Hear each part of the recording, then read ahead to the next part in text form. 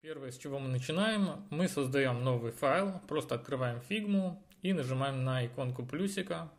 Давайте его как-то назовем, например, surf, и создадим frame, то есть рабочую область, в которой мы будем создавать дизайн. Из предложенных версий давайте выберем таблет-версию и выберем Surface Pro 4. У нас создался вот такой вот фрейм, с которым мы будем работать. И в дополнительных материалах будет ссылочка на сетку.